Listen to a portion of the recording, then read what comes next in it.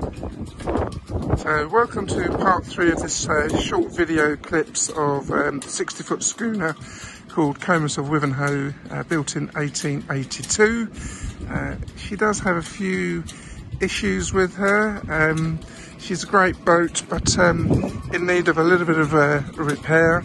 Uh, we're not trying to hide that, uh, but the purpose of this video is just to give you a, a, a rough idea uh, of what she's like.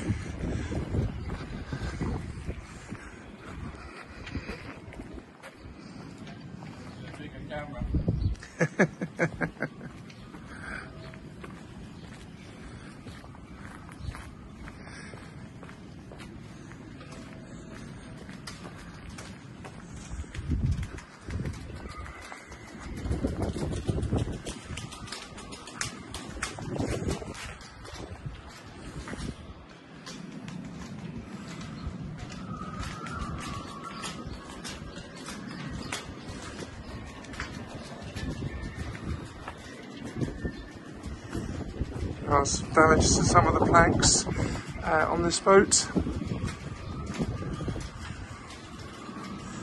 These are obviously above waterline, but uh, would need attention. The planks themselves appear to be uh, solid and sound, but some caulking is uh, is required.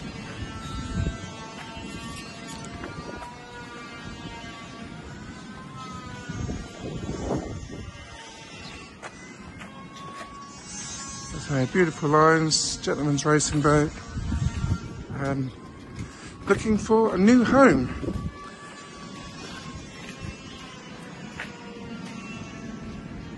I hope this gives you uh, a little bit more information, but uh, please contact us, um, davidmorrisboats.co.uk, where full details are available. Uh, thank you very much for watching.